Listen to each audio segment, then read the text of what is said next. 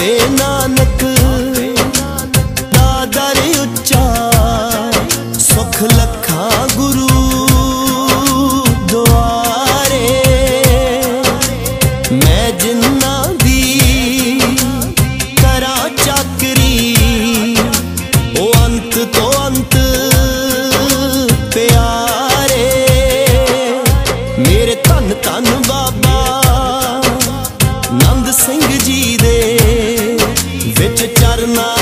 ਸੁਖ ਸਾਰੇ।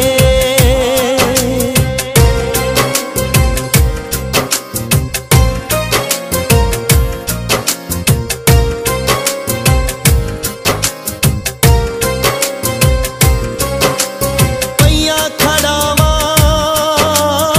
ਮੱਥਾ ਟੇਕਾਂ।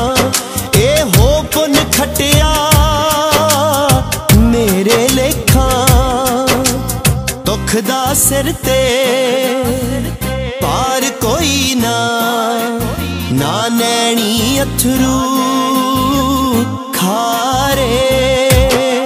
ਮੇਰੇ ਧੰਨ ਧੰਨ ਬਾਬਾ ਨੰਦ ਸਿੰਘ ਜੀ ਦੇ ਵਿੱਚ ਚਰਨਾਂ ਦੇ ਸੁਖ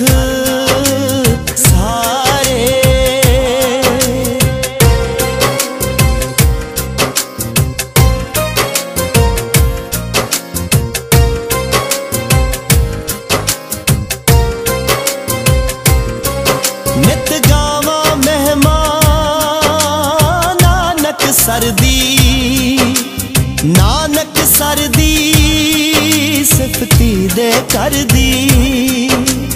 ਜਿੱਥੇ ਸੂਰਜ ਆਸਰ ਝੁਕਦਾ, ਤੇ ਝਿਲ ਮਿਲ ਲਾਉਂਦੇ। ਤਾਰੇ, ਮੇਰੇ ਤਨ ਤਨ ਬਾਬਾ, ਨੰਦ ਸਿੰਘ ਜੀ ਦੇ, ਵਿੱਚ ਚਰਨਾਂ ਦੇ ਸੁਖ